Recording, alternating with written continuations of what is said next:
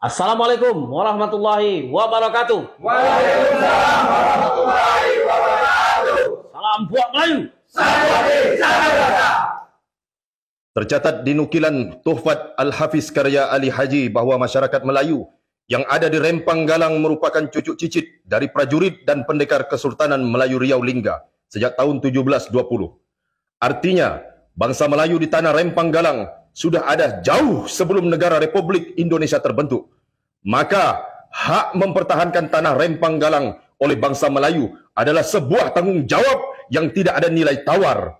Untuk itu, kami, Persatuan Orang Melayu, Kabupaten Sintang, Kalimantan Barat dan Satria Pembela Melayu menyatakan sikap satu, mendukung saudara Melayu di Rempang Galang untuk mempertahankan dan mendapatkan hak berdaulat di tanah leluhurnya.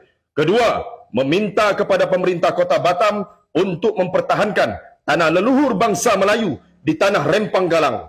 Ketiga, meminta Presiden Republik Indonesia Bapak Joko Widodo turun ke Rempang Galang dan memberi solusi terbaik tanpa merugikan atau menginjak-injak harkat martabat masyarakatnya.